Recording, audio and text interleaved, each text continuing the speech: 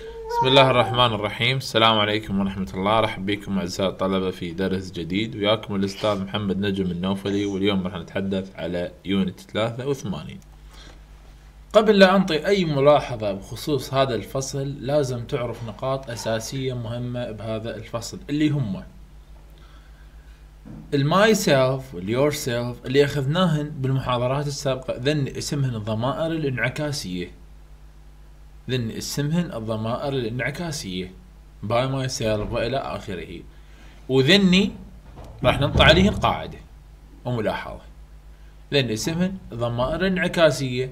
Yourself, myself, herself وإلى آخره.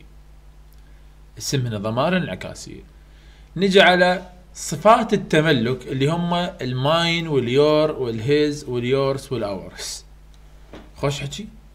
هسه ذني اسمهن ضمائر الملكية أو صفات الملكية يعني. ذني يجون بنهاية الكلمة ويكون قبلهم أفعال كينونة يعني is are am was were ذني ذلو جماعتهم.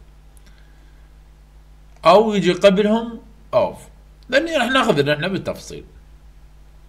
إذا هسه عندنا ضمائر انعكاسيه وعندنا آه، صفات التملك اللي هم ال my ال mine وال yours واللي يكون اي أي ضمير ينتهي بال s. خوش. بقى عندنا ال my own هذه ال my own هذا معناها ملكي. ملكي يعني. هاي كلمة معناها ملكي. ما لها علاقة لا بالضمائر ولا كذا وهاي own my own هم نفس الحالة.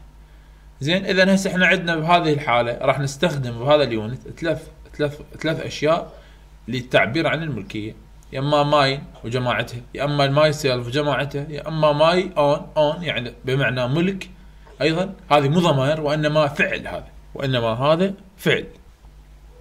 أول ملاحظة أنطيك إياها بخصوص هذا المواضيع إنه أني أقدر أستخدم أقدر أستخدم آه الاسم يعني أي اسم باللغة الإنجليزية زائدا of زائدا ضمائر الملكية أو صفات الملكية. فمن الأمثلة اللي ذكرت لك إياها ان يكون عندك اسم زائدا of حرف الجر of زائدا his. أو ضمائر التملك كلها. Good idea of yours. شوف الاسم ال of والضمير. neighbours neighbour of his. Friend of ours. لأن هذه أول ملاحظة لازم نعرفها إنه هذه الضمائر تجي بعد الضمير أو بعد حرف الجر of يعني اسم زائدا of زائدا التملك زائدا التملك. هذه أول ملاحظة. زين اكتب لي ملاحظة على ال own. إحنا قلنا ال own معناها يعني ملكية. own. شلون يعني؟ من أقول آه يعني my own car سيارتي الخاصة. His own car سيارتها الخاصة. زين آه، أو ملكها. ملكها يعني هذه السيارة الملكها.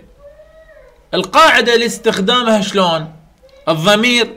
طبعا الضمير ياهم مو ضمائر ذولا ذولا ال my وال his وال your ذولا جماعة صفات التملك. صفات التملك وذن اسمهن ضمائر التملك. ذن اسمهن ضمائر التملك وذن اسمهن صفات التملك. her وال your. اذا هذول يعني راح يكون عندي صفات التملك. زائدا الفعل own زائدا زائدا الاسم. My own car. My own house. Your own car والى آخره. زين يعني my own fault خطأي. هذا خطأي. بقت ملاحظة مهمة جدا لازم أنطيك إياها. حروف الجر عندنا ال on تجي وياها my own يعني on تجي وياها my own يعني من نشوف ال on تختار وياها هذا التركيب. يعني on my his your هذه أحفظها ملاحظة يمك أما ال by فال by يجي وراها دائما ضمائر انعكاسية. myself yourself وإلى آخره.